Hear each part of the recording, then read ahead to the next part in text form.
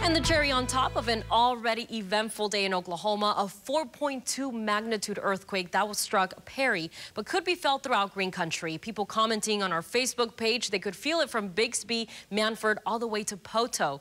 Two Works for You's Tatiana Taylor is live this morning in Perry to see if anyone experienced any damage overnight. Good morning, Tatiana.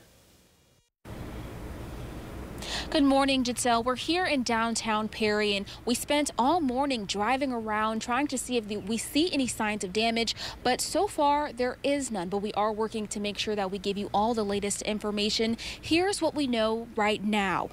Our chief meteorologist Mike Collier tells us this is the largest quake since April 19, 2018 and it happened in this same city, making this a top 18 all-time earthquake for Oklahoma. The United States Geological Society says it happened about six miles northwest of Perry around 10:15 p.m. last night. Now, I have reached out to Perry and Pawnee County Emergency Management for additional information, but we have not heard back yet. We will keep you updated on this developing story as we continue to learn more online and on our Two Works for You app. Live in Perry. I'm Tatiana Taylor, Two Works for You.